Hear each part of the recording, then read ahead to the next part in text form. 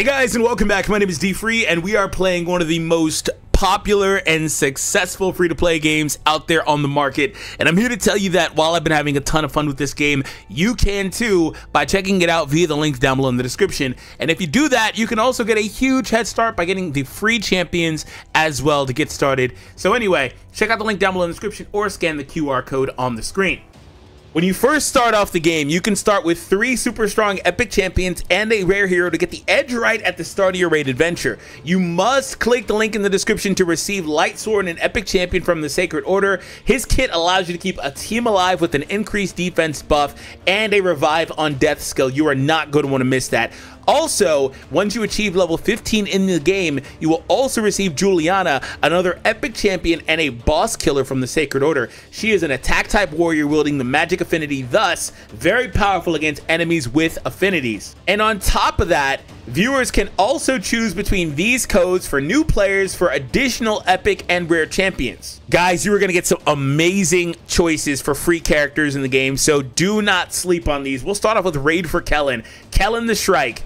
The epic champion from Sylvan Watcher's faction, Kellan has a powerful damage AoE. In addition, he has another move which reduces a target's turn meter. This is super useful for a number of different bosses. There's also Silver and Energy. And by entering the promo code RAID for Mord, you'll unlock Mordecai, the epic champion from the Sacred Order faction. With the ability to HP burn enemies, which is one of the premier abilities in the game, Mordecai is super duper useful on any team and especially against specific bosses like Spider or Hydra. You'll also get 1 Auto Battles 50, also 200k silver, and 10 Drink Red. And by entering the promo code I Love Raid, you'll unlock the rare champion Preserver. Preserver is from the Bannerlords faction and has a powerful AoE decreased defense debuff, which is helpful in taking out the enemies faster. This is also a super rare move that not a lot of heroes carry and will significantly help you in the early game especially. You'll also get 5 XP Brew Magic, 100k Silver, and an XP plus 100 for one day. Now, I know that you're wondering, well, where can I even enter all these juicy codes you just gave us, D-Free? And to do that, you're going to click on the left-hand side here and enter where it says promo codes right there in the center. Now, I've already done so, but where that box is for me, you'll be able to input your code, confirm, and if the code is accepted, it will then put you on a 24-hour cooldown, but don't worry, you will get everything that was promised to you in the video thus far. So, again, check it out, enter those codes, scan the QR code for some more freebies, and all that fun stuff in Raid Shadow Legends. Now we're going to check out the brand new Cursed City on Raid Shadow Legends. First things first, if you're wondering what exactly the Cursed City is, it's a month-long excursion to the accursed city of Sintranos, also under the rule of Amanus the Lunar Archon. Now, that's a lot of jargon that you may or may not understand, but basically those are locations and characters in the game, if you're following, right? Hopefully I say these things right, because sometimes they're kind of like hard for me. I just butcher a ton of names. Let me know if you're the same kind of way. And anyways, Lunar is the final boss of the mode. Players will need to clear stages of differing types across four districts to hunt down three Eclipse keys, and once you have them, you can then head to the Eclipse Tower in the center of the Cursed City and fight Amius, the Lunar Archon. And if you're wondering why you should even be excited about this mode in the first place, let's break down some of the awesome features that are available to you. First and foremost, this is expansive PvE content with 100 different stages, 100 different stages to complete across four increasingly difficult districts, including double boss stages and a final fight against Amius the Lunar Archon, like I mentioned, a boss who can change between two different forms like mythical champions. Also, there is a ton of player choice.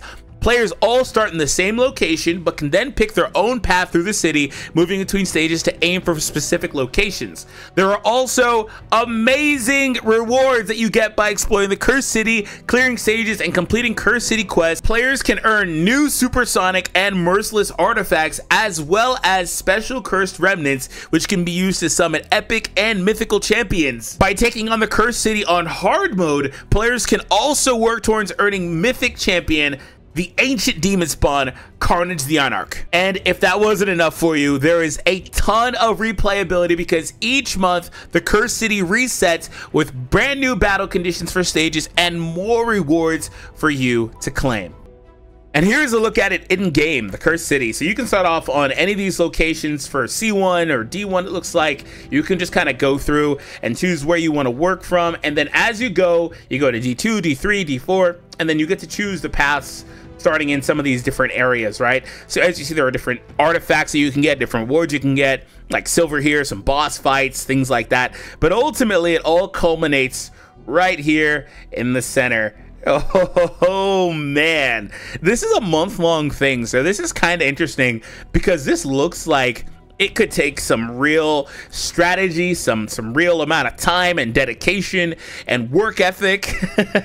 um, I am really really excited about this. I wish more games kind of did this, where they have this ability to to kind of put out new content and make it like this. So we're gonna start off on normal difficulty. I'll start off with C1. We'll build a team we'll hop in. This won't last very long. I'm going to get destroyed because the factions it wants me to use, I don't really have a lot here. So anyway, let's go in and see what we can do. I hope you guys enjoy. Like I said, be sure to hit that thumbs up if you are. And check out Raid Shadow Legends. All right, so, okay, off to a solid start. Oh, wow. They are going to hit me back really hard, aren't they? Okay. This is where those epics and all that stuff that you get for all my codes and all that stuff, the QR, all the codes I gave you guys are going to come in handy because they are super duper useful when it comes to getting a head start and starting to build your account out. That is what you're going to definitely want to have happen. So we're going to use this here, shield and block damage. Uh, I mean, I think he's just going to die directly after, so I'm not... All right, we'll go there. Ignore. Okay? Yeah, he just pretty much died like I said. So I'm still a little bit behind the curve myself. I have some more raiding to do. Pun intended. All right.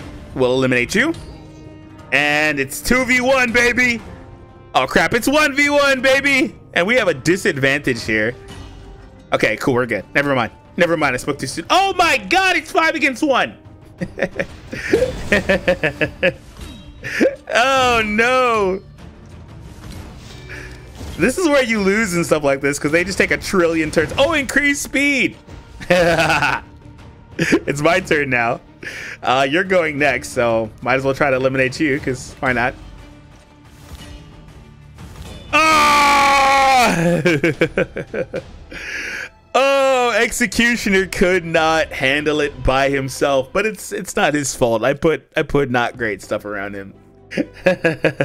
I do need a lot more work. So that is kind of how that looks just on the general gist of things. But I need to get back to raiding and working on those guys for sure myself.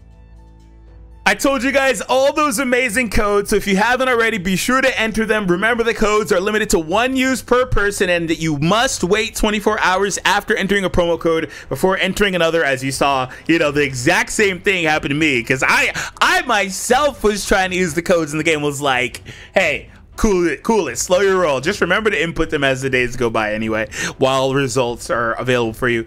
So anyway, what are you waiting for? Click the link in the description or scan my QR code to get two free epics. And to, don't forget to pick one promo code for new users for another epic. And you can find me in the game under the clan DFreezy with the name DFree. Be sure to join first come, first served. I'll see you all in the game, which you can see right there, D free. so be sure to join me, and I'll see you all on the battlefield. Click the link, all that fun stuff. I'll see you there.